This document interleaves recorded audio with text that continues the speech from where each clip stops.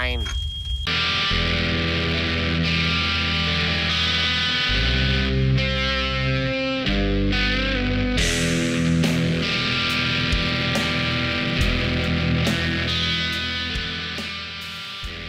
You really understand how the technological world works?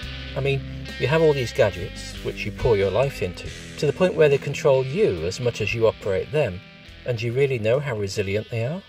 And I don't mean hacker or spyware secure. I mean the next time you need that device, will it work? In this video, I'm going to expose two popular myths and why they are not truly valid for the average person in the world today. What inspired this video was a recent comment in response to a blog post.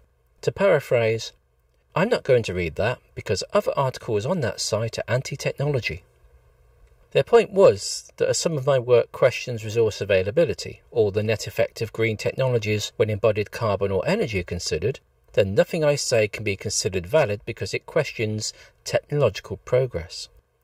What I say in response is that I am not anti technology, but pro science. Good science requires that we are always critical of technology because often irrational political or economic objectives define technology rather than just rational thinking. The first of these global myths, whatever the product or development under discussion, is that the modern lifestyle is sold on the basis that technology makes life better. It's a proposition treated as a rule when in fact it's a function. A certain level of technology definitely improves human lifestyle. But beyond a certain point, technological dependence creates a trap, where growing complexity creates a high risk to our well being should those systems suddenly fail.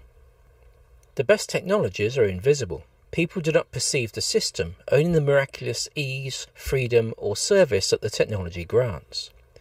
The whole point about modern technology, from cheap fast fashion clothes to electronic payments to food delivery, is that you do not question the sheer scale of the systems and economic relationships they rely upon. You simply agree with the proposition that it's good and carry on using it. I mean, if you question that principle, then your whole modern lifestyle would end, wouldn't it? That's why you need to keep watching this video, because I have a heavy reality to lay upon you. The more reliant we are upon technology for our daily life, and the more seamless and invisible those technological systems become, the greater problem it poses for your well being should that system suddenly unravel. It needn't be a classic disaster movie event which causes this. Machines break, companies fail, countries fall out. But more importantly, as the world economy operates at more extreme levels of physical and economic activity, so that whole system becomes more brittle and less resilient to shocks.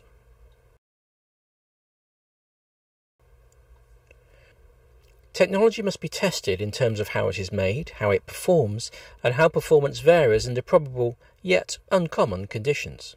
For example, as it is topical right now, the extreme heating of urban areas resulting from climate change. Those who follow my work will know that the experience of being outdoors has a great influence on my work, and that I really enjoy walking and, if possible, camping out in extreme weather storms, floods, and winter cold. But there is one type of weather I do not mess with, extreme heat. As I write this, Britain has just smashed historic temperature records and has started to catch fire. What is missing from the media debate, though, is the role that technological dependency, driven by the economic imperative of greater specialisation, productivity, and control, has accentuated the risks of the urban lifestyle under the situation of extreme heat. Today, technology is not an evaluation of how to enhance our lives. It is variously an exploitative business model, a consumer fashion, or a brand led cult, and combining all of these, a religion of affluence and consumption. What we're talking about here are so called black swan or low probability high impact events. Events that are likely, and even more so in the conditions of a warming climate, to trigger the disruption of our intertwined technological systems, but which are so relatively infrequent that when they occur, it pushes people, and especially the technology that enables their lives, outside of their everyday experience, amplifying the impact of those failures. There are many systemic flaws in modern society, interlocking processes which, because of the way they underpin systemic complexity, create a correlating risk of catastrophic failure when those systems are disrupted. From supply chains to critical minerals, any one factor may create a global crisis, such as the current cost of living crisis as a result of the war in Ukraine. It is possible to anticipate and plan to adapt to these crises, Practically, though, it is far better to develop a less technological, simpler alternative that you can enact when such crises arise. One based on developing your skills to manipulate the resources around you rather than creating yet another consumer market that extracts resources from your life, such as the popular cult of prepping.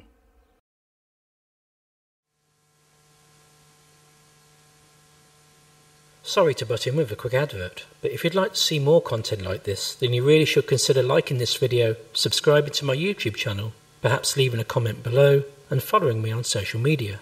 In today's digital analytics popularity contest, all that button pressing means something in this messed up world, and if we're going to challenge that, then we have to do our bit to whack the algorithms, supporting the kind of content we want to see by clicking on it.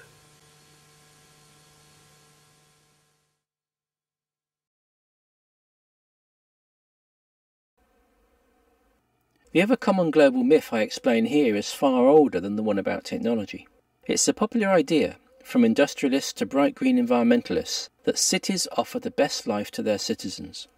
For a globally affluent minority living the Western middle class lifestyle, it may be possible to argue that, but only if you ignore the relative poverty or servitude that lifestyle enforces upon many others.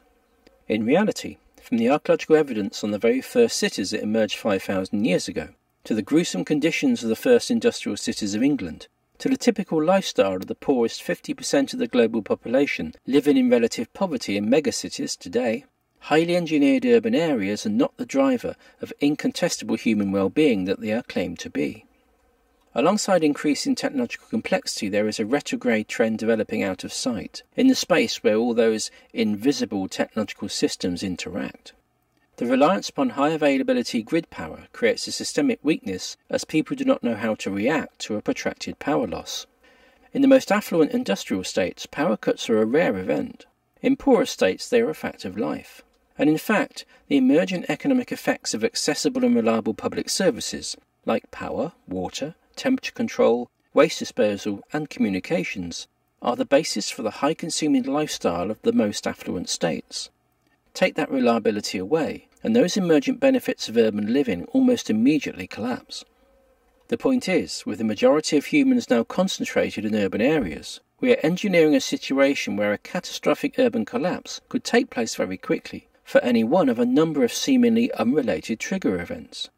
Again, just think of the global crisis that has emerged as a result of the war in Ukraine or the ship stuck in the Suez Canal before that, and it's possible to see how seemingly restricted events in one location can propagate across the world. To see the complex interaction of electrical power with the average urban community, I'm going to walk you through a diagram that illustrates how power pervades all facets of our modern lifestyle in Britain. The diagram starts with the house you live in, but it could just as easily be your place of work. The root cause of any power crisis will be an imbalance in the national power grid. This can be caused by insufficient power from power stations to keep the grid balanced against demand, which creates brownouts or power surges that can lead to blackouts, or excessive cold, heat, flooding, or storm damage affecting transmission lines or the power stations, all of which is certain under current committed climate change scenarios. The critical factor here is called black start. This is the capacity of a power station to start itself up using its own backup generators. The two types of plant which had this in Britain, coal and nuclear, have largely been closed over the past three decades. Many gas-fired plants do not have black start capability, and next to no renewable plants have it. What this means is that after a general grid failure, plants with black start will have to power on to start the other power generating capacity first. Only then can the grid start to supply regional power networks. National Grid estimate that after a grid failure, there's a 50 50 chance that 60% of capacity might be restored after a day. But under extreme conditions, where infrastructure has been damaged, it will take longer. Regional grids bridge the national grid to consumers. Under extreme circumstances, regional grids can institute load shedding, whereby large energy consumers can agree to have cheaper electricity in return for being cut off in emergencies. But as manufacturing and heavy industry has closed, Britain's shrinking power supply has less large-scale interruptible capacity to shed, before rolling blackouts are used to ration what power remains. Apart from national grid issues, regional networks are more susceptible to flooding and storm damage. A significant problem is extreme heat. Large parts of the network are passively cooled, Lines and transformers heat up during the day when demand is high and cool overnight when demand falls. When nighttime temperatures remain high, equipment can't shed as much heat, which progressively leads to a higher operating temperature over successive days, increasing the chances of grid failure. You may have solar panels on your home. What few realise, though, is that they do not work in a power cut. Just like large renewable power generators, home PV or wind installations require an external power supply to synchronize to the grid frequency. Unless you have your own independent battery backup system and inverter, domestic renewable power sources do not supply power during a power cut. The latest model of highly efficient houses are airtight. This reduces air leaks, significantly reducing heat loss. As a result, they must have powered forced air exchange systems to extract and refresh the indoor air. Without a grid supply, these heating or cooling systems do not work. Then, because the building is so well sealed, indoor air quality declines rapidly, creating health stress as carbon dioxide levels rise. If a heating or cooking stove is used indoors, air quality will decline much faster. For 30 years, the UK water supply system has centralised around large plants designed to meet higher quality standards. As a result, we now pump large quantities of water long distances to supply urban areas using power from the regional grid. In the early years of water supply, when areas were supplied with water for a few hours at a time, every building had a cold water tank. This would fill and continue providing water during the hours when the supply was cut off. Since the 1970s, Britain has ripped out many of its cold water tanks. This means, should the supply fail, people run out of water immediately, and unless they have their own stored water, they will have nothing to drink. This creates a clear danger during periods of extreme heat. Like water supply, sewage treatment systems have concentrated on larger plants, with many small local treatment works having been closed over the last three decades. Large volumes of sewage are now pumped, especially in areas with high levels of new house building, where new developments cannot always drain by gravity. In a prolonged power failure, the lack of water supply will limit sewage generation, but with the pumps down, what volumes are produced will back up, and in many cases will overflow, untreated, into local watercourses. This, of course, creates a conflict if people are also trying to extract water from those watercourses during an emergency. There has been a major shift in food consumption over the last three decades towards frozen or chilled ready meals. Most people's food supply is now kept in the fridge, which, without power, will warm up or defrost within 12 to 24 hours. This diagram doesn't include the gas network, but that too is dependent upon power for pumping and grid control. More importantly, most modern gas cookers, as well as solid fuel or oil fired boilers, will not work without an external power supply. In general, then, there will be no heat sources for heating or cooking. In a situation where, without refrigeration, people keep most of their food in a readily perishable condition, and without heat to cook it thoroughly, that food has a higher probability of causing food poisoning. When the local loop of the phone network operated with copper wires, power was supplied from the exchange, and most telephone exchanges had priority power supplies and even backup power generation. The switch to fibre optic cables, and BT's plan to eliminate all copper cables in the next few years, creates a problem in emergencies. Landline phones now require their own power supply to function. As a result, in a power cut, communication with the emergency services will become difficult. Smart devices must be charged. Their batteries are not designed to be replaced. Without mains power, they will soon die, and with them, many of the related services most people take for granted.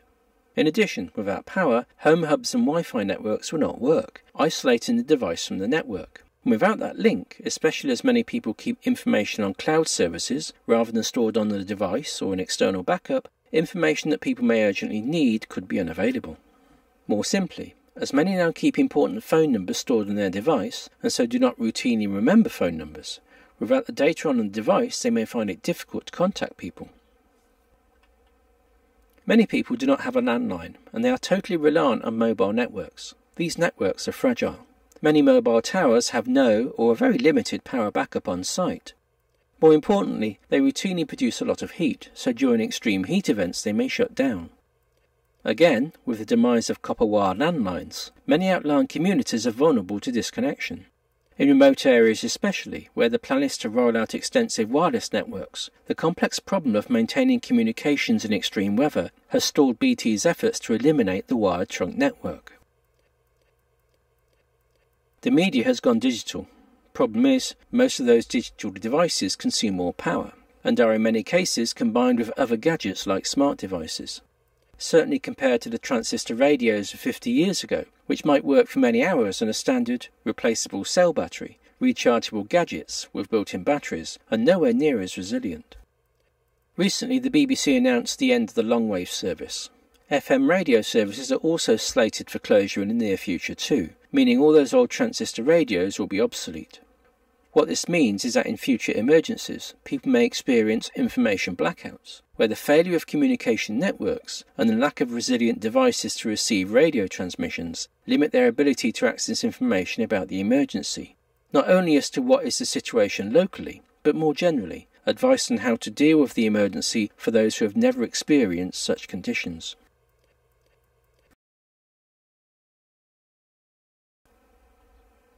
Technology is making advanced societies less safe. Power supply failure is but one of a number of similar flaws that pervade modern society. The engineering frailties in Britain's urban life support system are well known. Various experts have been talking about these problems for many years. In order to understand and consciously decide how to live in a sustainable way, you must first be able to see these invisible technological systems and how they affect your life. Only then can you decide how to live or what the priorities are for your own lifestyle. The person whose comment inspired this video simply didn't want to engage in that pursuit. The moment they opened that Pandora's box, it attacked the very identity this lifestyle had forged for them. The problem was their maintenance of a willing ignorance in order to maintain their blissful existence in the consumer technological utopia. But as with all utopias, it is the limitations of these technologies which render that lifestyle practically unattainable. Is using science, engineering, and statistics to model the risk of failure anti technology? No. It's rational to evaluate the risks of the gadgets in our lives. If people are afraid of that, then I suggest it is the result of their own failure to accept their dependency upon those fragile systems. The solution to this is simpler technology developing practical skills, not buying gadgets. This is why I enjoy foraging, camping, and cooking food outdoors. These are the skills which can sustain us when technology fails. If I spend time outdoors, practicing and extending my primitive skills, it is not because I reject technology. It is precisely because I understand the complex nature of modern technology and its limitations.